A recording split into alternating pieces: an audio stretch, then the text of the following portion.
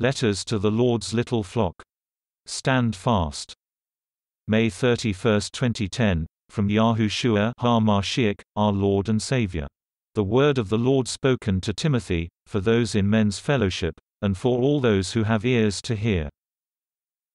Thus says the Lord. Calamities shall increase, reaching far and wide. And many ten thousands shall fall. Multitudes shall lie down in death. And all shall fear.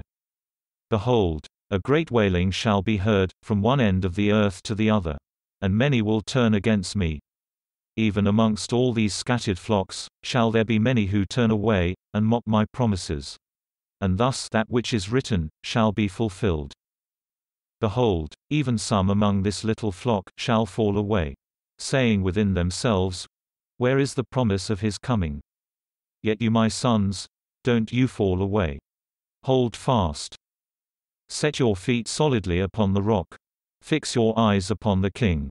Set your shoulders straight, and stand fast in battle array. For the Holy One is coming down, on a day which no one knows, and at an hour you do not expect. Therefore, prepare and make ready. It is time.